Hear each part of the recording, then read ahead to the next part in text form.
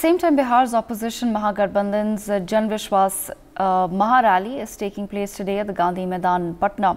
All big faces of the opposition are slated to participate in this Maharali. Rahul Gandhi has already left for Patna to participate in the rally. This is the new Bihar opposition's first joint rally after Chief Minister and JDU Chief Nitish Kumar snapped ties with the India Alliance and ditched the Mahagathbandhan in Bihar to join the NDA.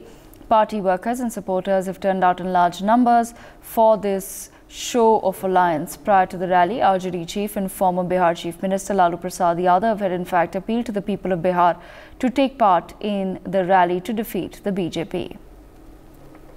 Bihar CLP leader Shakil Ahmad Khan has said that the rally is a tremendous success and the BJP is rattled. Listen in. Rally इसका असर ही है कि Bharatiya Janata party में हड़का मचा हुआ है हार जाएंगे वो लोग कल नीतीश जी ने कहा कि मोदी जी को 400 पार सीट अब उनका अब उन अब उनकी बातों का ही कोई वैल्यू नहीं है तो उस पर क्या हम विचार रखें?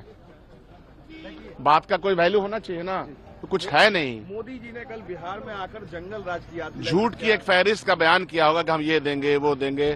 तो झूठ की फहरिस्त दस साल से देश की जनता और बिहार की जनता सुन रही है। कोई विश्वास नहीं करता मेरे भाई।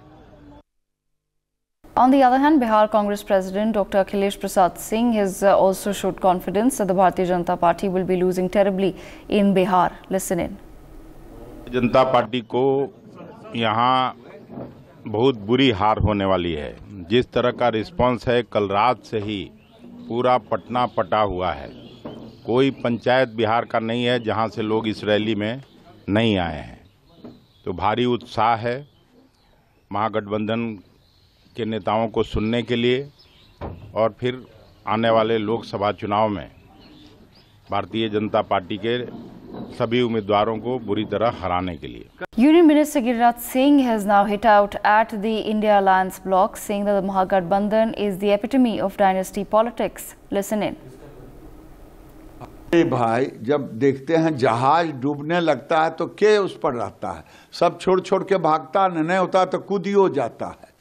तब ये जो महागठबंधन है, ये परिवारवाद की प्रकाष्ठा है, जो इसके मुखिया हैं, कांग्रेस और आरजेडी। अब देखिए लालू जी थे मुख्यमंत्री, जेल जाने लगे तो राबड़ी जी हो गई। अभी जब उप मुख्यमंत्री से हटे तेजस्वी यादव तो एक सदन के नेता वो, एक सदन की उनकी माँ राबड़ी जी। कोई यादव कोई अति पिछड़ा नहीं दिखाई दिया तो इनके साथ कौन रहेगा For more such videos, subscribe to the NewsX YouTube channel, hit the bell icon.